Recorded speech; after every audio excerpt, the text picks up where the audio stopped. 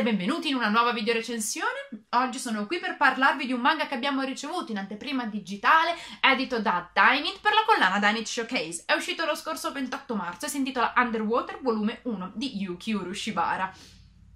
Yuki Rushibara è probabilmente un nome che non vi giunge nuovo, perché diversi anni fa è stato pubblicato qui in Italia sotto le insegne di Star Comics un altro manga di questa autrice, Mushishi, che è un manga che è stato anche pluripremiato, ha vinto l'Excellent Prize al Japan Media Arts Festival e si è aggiudicato il titolo di miglior manga al Kodansha Manga Award. Ma di cosa parla Underwater?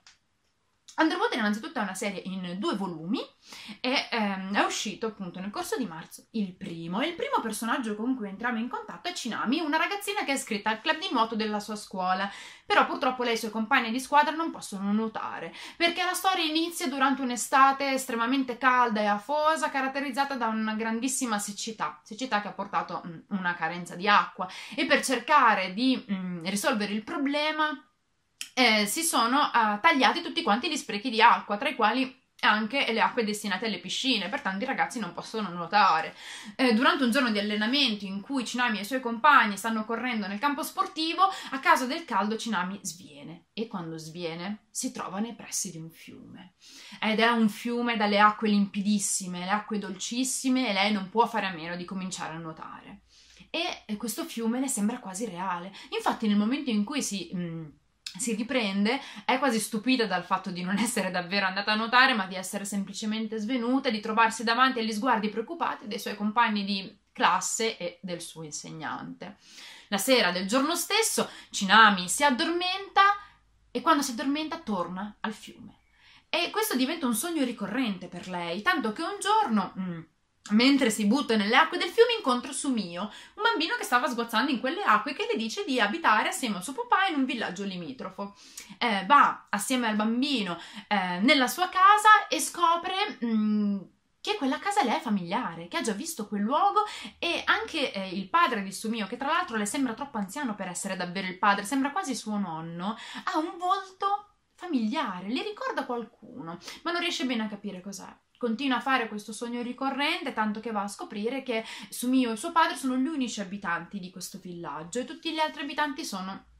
scomparsi e Sumio non sa perché abbiano abbandonato quel luogo. Presa da questo sogno che continua a fare, Cinami si rivolge alla madre e poi alla nonna e scoprirà che questo villaggio esiste davvero, che quel fiume esiste davvero ed ha un legame strettissimo con la sua famiglia. È difficile parlare di Underwater senza fare troppi spoiler che vi eh, rovinerebbero l'esperienza di lettura, perché una delle caratteristiche più belle di questo volume è il fatto che l'autrice sia riuscita a narrare questa storia tassello dopo tassello con una struttura narrativa davvero interessante, perché? Per raccontarci la storia di quello che è il vero protagonista eh, di eh, questo fumetto, cioè il villaggio stesso, eh, la narrazione fa dei continui salti temporali. Dal presente si va ad un passato piuttosto remoto, poi ad un passato più vicino, poi si torna al presente, poi al passato di nuovo e tutti questi salti temporali danno sempre un apporto in più che può permettere al lettore di capire la complessità della storia che sta leggendo. Eh, questa struttura ehm, potrebbe risultare un pochino confusa inizialmente, perché costringe il lettore a prestare davvero attenzione a ciò che legge, ma ha un aspetto estremamente positivo, il fatto che finisce col fare immergere il lettore del tutto nelle pagine del manga, proprio perché deve continuare a, a prestare attenzione a quello che gli viene narrato per riuscire a comprendere tutti quanti gli elementi che l'autrice ha deciso di raccontarli. Come vi ho detto poco fa, il vero protagonista di questa storia è il villaggio. Il villaggio e il suo fiume, che viene sviscerato in tutti quanti i suoi aspetti, perché ne sappiamo quello che è mm, l'aspetto strettamente geografico, perché conosciamo tutti quelli che sono i luoghi più importanti di questo posto. Ehm, scorci del villaggio ci vengono riproposti dall'autrice in diverse occasioni e mm, l'autrice ce li mm, ripropone in maniera estremamente intelligente, perché a un certo punto il lettore si trova ad avere la sensazione sensazione che quei posti siano davvero familiari, così come lo erano per Cinami quando li sognava e così come lo sono per i suoi familiari. E quindi il lettore riesce ad avere una visione del villaggio che è la stessa di quei personaggi che ci stanno narrando la storia. E questa è una cosa molto molto interessante. Difatti vi consiglio proprio di sfogliare eh, questo fumetto per rimanere incantati dal modo in cui l'autrice è riuscita a riproporre questi spazi, che sono oh, protagonisti non soltanto della trama, ma anche visivi. Come dice, vi dicevo, è piuttosto difficile parlare di questa storia senza farvi degli spoiler che rovinerebbero la sorpresa della lettura. Però è anche importante mm, sottolineare altri aspetti della narrazione. Um, in particolar modo è interessante vedere come questo villaggio e il suo fiume ci siano stati raccontati su diversi piani, perché mh,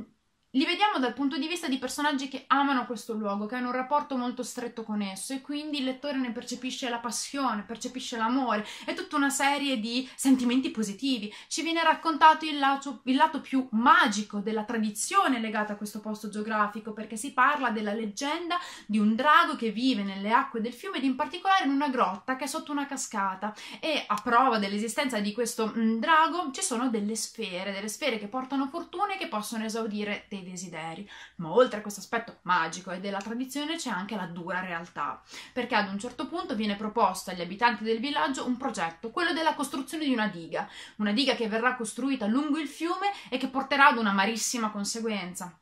Vale a dire, il villaggio verrà sommerso e tutte queste persone che vivono da generazioni in questo luogo, che lo amano visceralmente, che amano la vita della campagna, saranno costrette ad andarsene perché altrimenti rimarranno sommerse dalle acque di quello stesso fiume che hanno amato tantissimo. E quindi dopo tutta una serie di eh, sentimenti estremamente positivi legati a questo luogo, legato al fiume, legato all'acqua e alla natura, l'autrice dà al lettore una mazzata, letteralmente, perché si comincia a provare il, il, dolore e la disperazione di queste persone costrette ad abbandonare un luogo contro la loro volontà. E quindi noi seguiamo la battaglia di queste persone che amano visceralmente un posto ma che sono costrette ad abbandonare a causa del progresso, a causa della necessità della costruzione di questa diga che verrà fatta a discapito di quelli che sono i desideri delle persone che vivono e amano quel luogo. Però non c'è solo questo nella storia, perché eh, come è possibile intuire da quello che vi ho raccontato, eh, il sogno di Cinami, che sembrava inizialmente soltanto un uh, sogno scaturito dal suo desiderio di poter nuotare in un'estate in cui le era proibito utilizzare l'acqua, in realtà sarà il mezzo per lei per entrare in contatto più stretto con quelle che sono le sue origini e soprattutto la sua famiglia, per legarsi ancora di più alle persone che ama. Quindi già da questo primo volume si capisce che Underwater è una storia... Mm, molto intensa emotivamente e che eh, fornisce al lettore tanti spunti di riflessione su vari tipi di tematiche. È una storia emotiva e che riesce a mescolare quello che è mm, la realtà con quello che sono degli elementi magici e più onirici, tutto quanto disegnato con uno stile delicatissimo che vi farà sicuramente innamorare delle tavole di questa mangaka che ha un tratto ehm, leggero ed essenziale ed estremamente mm, emotivo perché riesce a far giungere al lettore tutte quante quelle emozioni che sono legate alla sua storia, anche soltanto con la rappresentazione di dei luoghi geografici. Basta uno scorcio di questo villaggio per riuscire a provare tutti i sentimenti che stanno provando i suoi abitanti. Io vi ringrazio tantissimo per aver guardato questa video recensione e vi do come al solito appuntamento alla prossima. Ciao Betcomics!